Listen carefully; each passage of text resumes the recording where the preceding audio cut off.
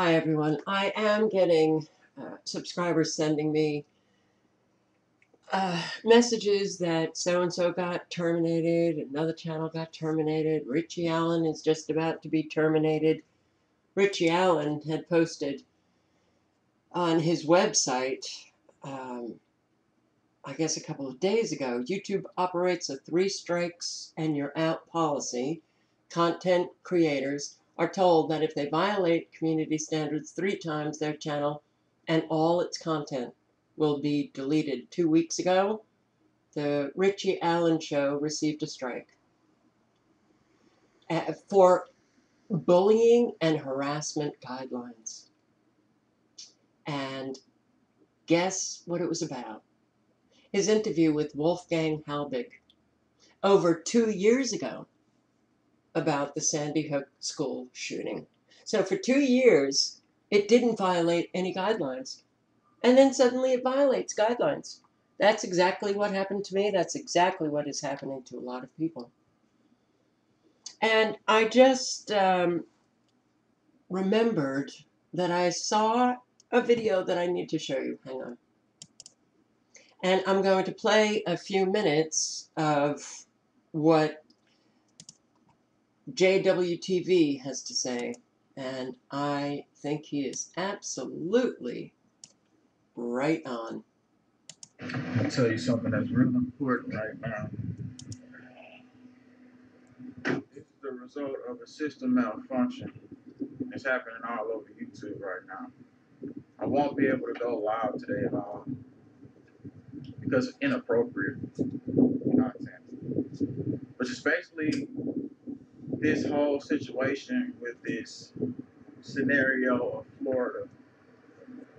I won't speak too much more on it, but I took down a lot of those videos. So if you looked at all those videos I put up, they're down. I took a lot of them out. It was just one that I got hit with a strike about. So I'm just letting you know right now that this is the warfare. This is happening right now. So everything we've been talking about, they don't want us to talk about. This is the battle. You know, when you got, like I said, we're the counter program to this system, and you know the counter program is under attack as we speak. And it's important you know that this is not just a situation we should take lightly.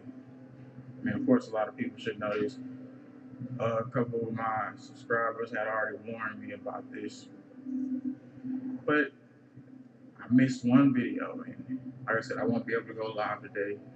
But I'm letting you know the warfare is real. And The warfare is real. The system he is right. is locking down. The system is locking down. And it's coming harder and harder every single day. So he can't live stream. He gets a strike. He's taking off videos from his channel to protect his channel. And he gets a strike on a Florida shooting video. And Richie Allen gets a strike on Sandy Hook, a video that was posted two years ago. So you can see that there's a deliberate nature to this censorship, but it's also arbitrary. And it's sad that we got to this point, but we are here. And yeah, there's an awful lot of Americans that don't really care about free speech. They don't care if channels like uh, so many who are in the quote unquote truther community, they don't care if those channels go down because they're still so uh, stuck in the matrix, choosing willful ignorance, and they just don't want to hear from anybody who is actually doing research and then posting the truth. They think that it's absolutely fine that people who have a different opinion than them that they get silenced. That's where we are at today. We don't have the numbers to combat